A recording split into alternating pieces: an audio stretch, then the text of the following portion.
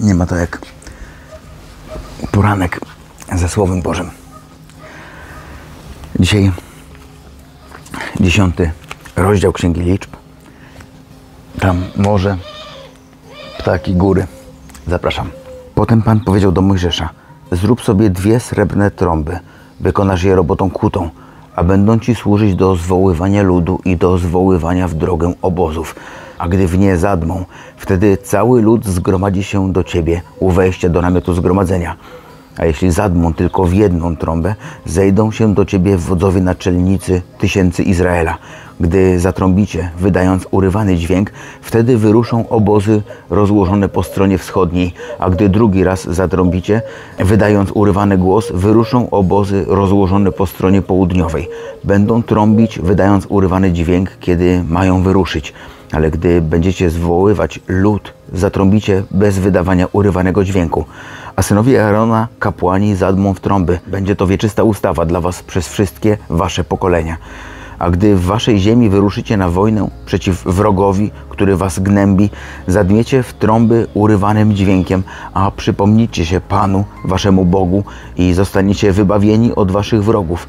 Także w dniu waszej radości, w wasze uroczyste święta oraz podczas waszych nowiów zadmiecie w trąby przy waszych ofiarach całopalnych i przy waszych ofiarach pojednawczych. Będą one dla was pamiątką przed waszym Bogiem.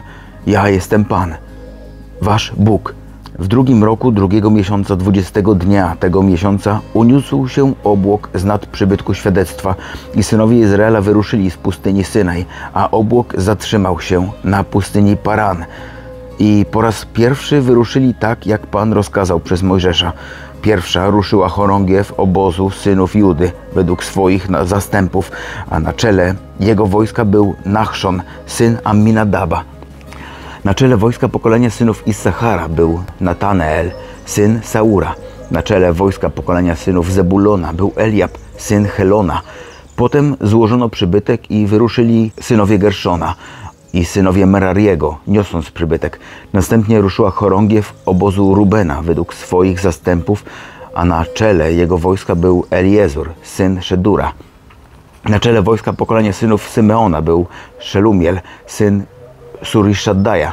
Na czele wojska pokolenia synów Gada był Eliasaf, syn Duela.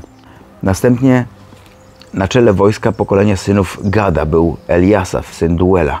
Następnie wyruszyli Kehatyci, niosąc świątynię, zanim przyszli inni, stawiali przybytek.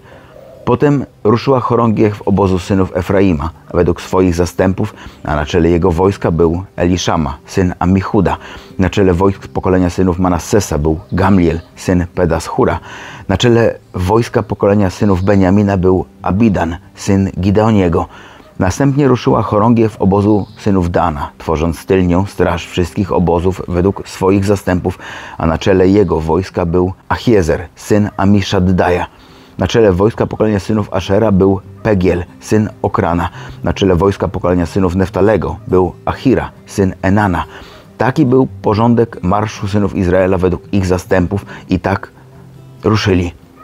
Potem Mojżesz powiedział do Chobaba, syna Reuela, Midianity, swego teścia. Wyruszymy do miejsca, o którym Pan powiedział, dam je wam, chodź z nami, a wyświadczymy Ci dobro, ponieważ Pan obiecał wiele dobrego Izraelowi. I ten mu odpowiedział, nie pójdę, lecz wrócę do mojej ziemi, do mojej rodziny. Mojżesz powiedział, proszę, nie opuszczaj nas, bo Ty wiesz, gdzie na pustyni można rozbić obóz i możesz być naszym przewodnikiem. Jeśli pójdziesz z nami, wyświadczymy Ci dobro, które Pan nam uczynił. I wyruszyli od góry Pana w drogę na trzy dni, a Arka Przymierza Pana szła przed nimi podczas tych trzech dni drogi, aby upatrzyć dla niej miejsce odpoczynku. I obłok Pana był nad nimi za dnia, gdy wyruszali z obozu, a gdy arka miała ruszać, wtedy Mojżesz powiedział: Powstań, panie, a niech rozproszą się twoi wrogowie i niech uciekają przed tobą ci, którzy cię nienawidzą. Gdy zaś się zatrzymywała, wtedy mówił: Wróć, panie, do niezliczonych tysięcy Izraela. Teraz zobaczcie, jaka jest ciekawostka. Mamy tutaj trzy punkty, na które trzeba zwrócić uwagę. Pierwszy to wykute trąby. Nie wiem, czy wiecie, ale jest y, Instytut Świątynny y, w Jerozolimie, o którym wspominałem w studium y, liczb rozdział 8, idąc do góry.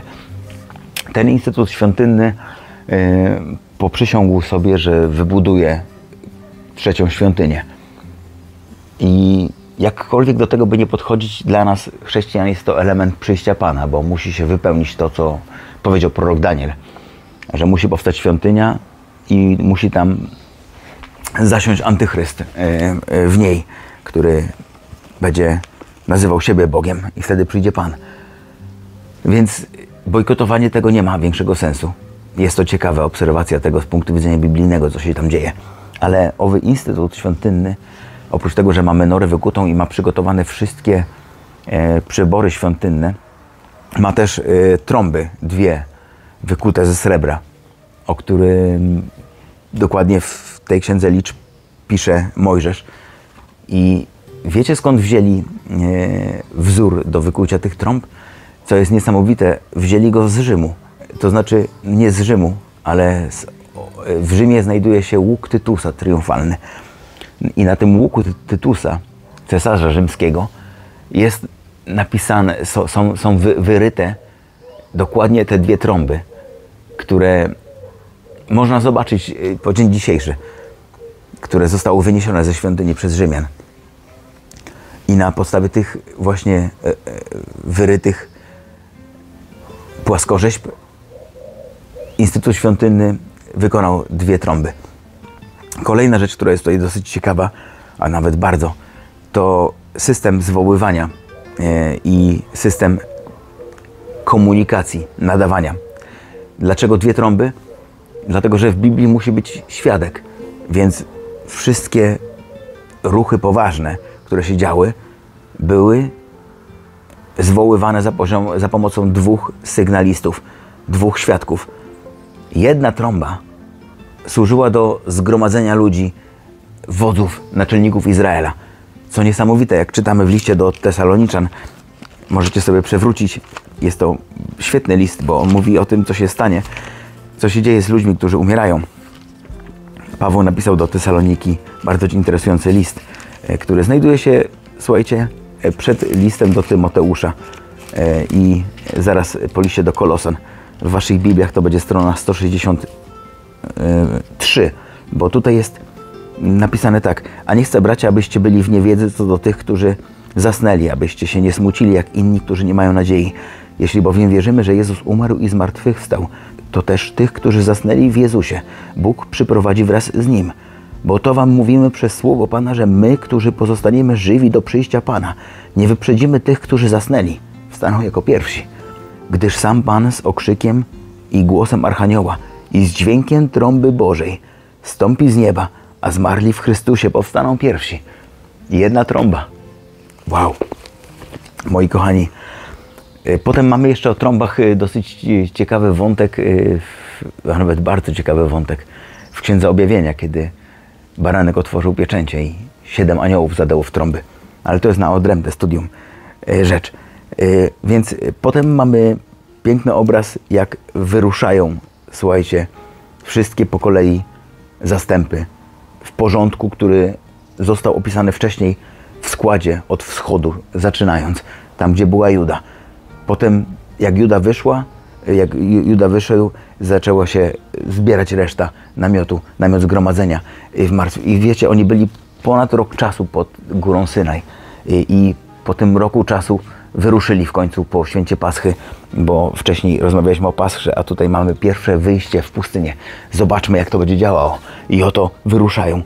I co jest ciekawe tutaj, e, Mojżesz mówi, E, do Reuela, Midianity. Reuel był mniej więcej w wieku Mojżesza, albo no, no tak można by powiedzieć, może trochę był młodszy od niego, ale Reuel to był, pamiętacie, to był syn e, kapłana, e, który, który, e, teścia e, Mojżesza, który kilka rozdziałów wcześniej e, Mojżesz chciał go, nie wiem czy to jest dobre słowo, zachwycić, ale mówił do niego, zobacz jak ja pracuję.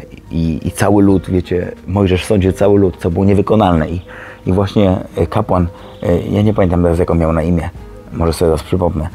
W każdym razie powiedział, nie dasz rady tego zrobić. I wskazał mu system, jak to należy robić, czyli wystawić naczelników ludów, sędziów, sędziów po kolei, tak żeby to chodziło wszystko. I Mojżesz tutaj mówi do e, Chobaba, syna Reuela. Reuela, przepraszam, Reuel się nazywał, Midianity swego teścia. Wyruszmy do miejsca, o którym Pan powiedział, dam je wam, e, e, e, dam, wam.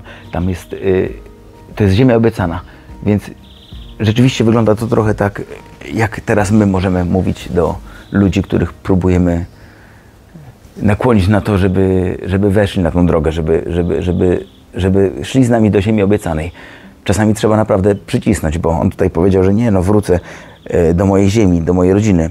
A Mojżesz powiedział mu, proszę nie opuszczaj nas, bo Ty wiesz, gdzie na pustyni możemy rozbić obóz i możesz być naszym przewodnikiem. No i wyruszyli razem. Chwała Panu Bogu za kolejną uratowaną duszę. I e, na sam koniec e, tutaj należy zwrócić uwagę, jak, w jaki fajny sposób Mojżesz, Mojżesz mówi, jak, jak, jak obłok e, przychodzi, jak przystawali e, i jak ruszali. Gdy przystawali, mówił wróć Panie do niezliczonych tysięcy Izraela. A gdy wychodzili, mówił powstań Panie i niech rozproszą się Twoi wrogowie i niech uciekają przed Tobą ci, którzy Cię nienawidzą. I myślę, że fajnie w taki sposób rozpoczynać spotkanie, rozpoczynać dzień, gdy wychodzimy w bój duchowy. I fajnie, gdy odpoczywamy, prosić Boga, żeby wrócił do niezliczonych tysięcy Izraela. Pozostańcie z Panem Bogiem. Jutro 11 rozdział.